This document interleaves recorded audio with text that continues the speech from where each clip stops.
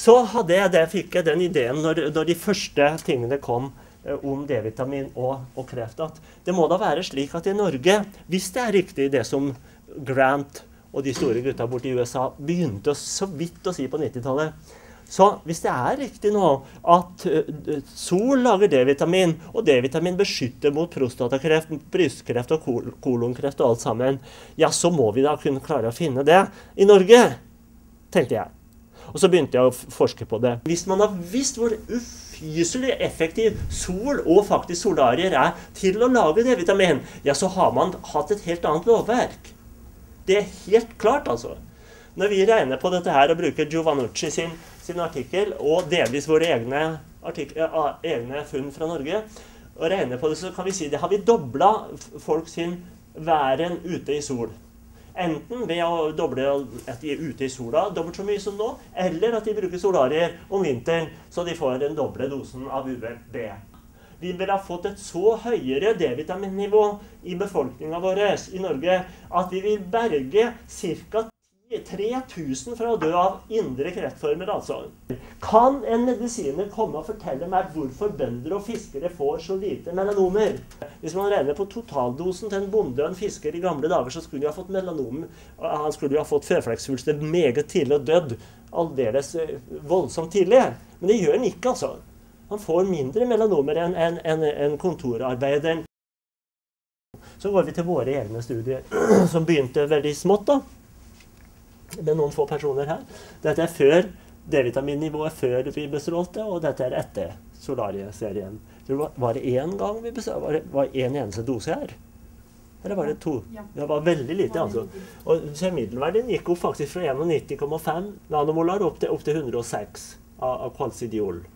Så det var en betydelig oppgang der. Men så kjørte vi en stor serie som er produsert nå, med det solarierøret der.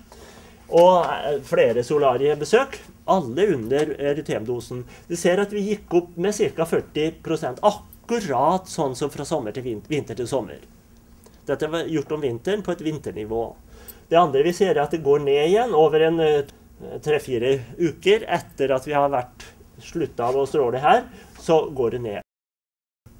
Det du lager D-vitamin av i huden på oss, det heter 7D-hydrokolesterol. Det kan det enten bli kolesterol av, og det er ikke så bra. Eller det kan bli D-vitamin av det hvis du stråler på det med sol. Så Sola den kan bare danne om ca. størrelsesorden 20, maks 20% av den 7D-hydrokolesterol til D-vitamin. Resten går tapt i fotoprodukter, som vi kaller det.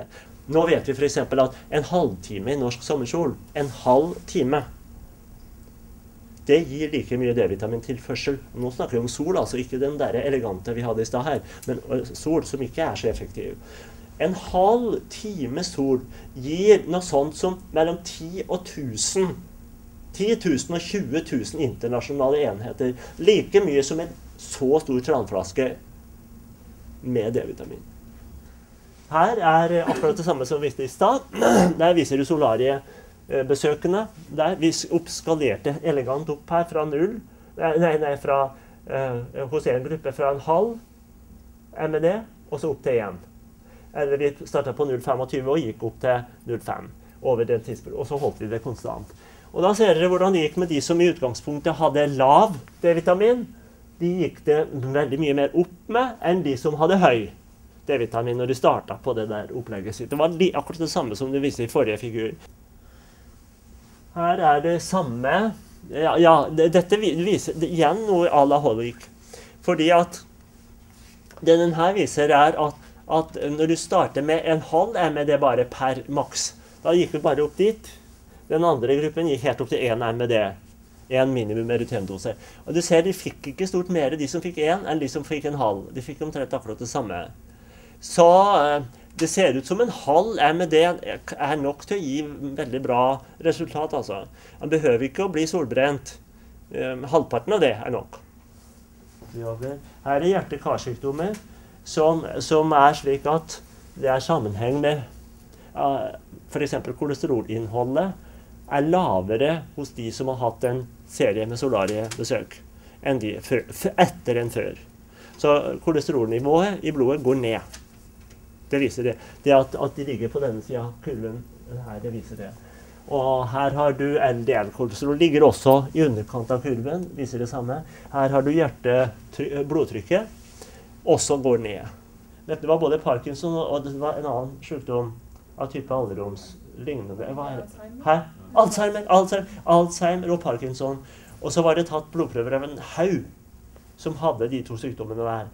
Og prøvd å matche det opp mot folk som var identiske når det gjelder levesett og alder. Da viste det seg at et Parkinson-folket de hadde 54 nanomolar, eh, og de andre hadde vel 57 eller noe sånt. Andre pasientgruppen, og de siste, normale si, kontrollene hadde 68 nanomolar. Så Parkinson og eh, Alzheimer hadde lavere D-vitaminnivå enn de som ikke hadde. Men om det er en primæreffekt eller om det er et resultat, det vet man jo ikke. Men likevel. Og du som driver med, med Du vet sikkert, eh, nokså sikker på at du vet det, men jeg kan jo si det til de andre her, hører det. Hvis man ser på fødsler av barn som blir schizofrene Det går an å finne ut av. Når er de født på året? Det er en kurve som er så nifst, altså at jeg har aldri sett på maken. Jeg har sett en par sånne kurver som er gjort. Det er slik at fødsler som blir, eh, barn som viser seg å bli schizofrene, de fødes på det tidspunktet Eller de er på slutten av svangerskapet, er D-vitamin lav. Det er på den årstidsbetinget. Det går som en bølge gjennom året, og det er stor variasjon fra eh, bånn til topp.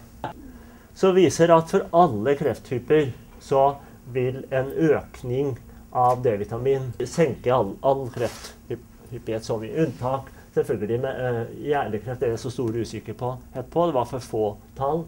Og melanomer uh, det kan man ikke si så mye om heller. At menn som har blitt mye solbrent i barndommen og ungdommen, de mindre, har betydelig mindre risiko for prostatakreft. Hvis det daglige inntaket av vitamin D økes med 1500 internasjonale enhet, tilsvarende 2,5 minutts midtsommersol i badedrakt midt på dagen, så vil det der være resultatet. 17 kreftrisiko reduseres med 17% 4000 per år i Norge. Totale kreftdødsfall reduseres med 3000. Det er ganske store, svære tall, altså. Det kommer mange bøker av den typen der så ute i verden nå. 'Sunlight Robbery'. Tror jeg har noen flere her. 'The Healing Sun'. Den boka der er Holly. Det at han skriver at det er en fordel med litt UV i den boka. Ennå er han mye mer forsiktig enn meg. Så han skriver i hvert fall at det er en fordel med litt UV, sier han. Han er diplomatisk ved å si det sånn. Ja, det var det. Takk for meg. Takk.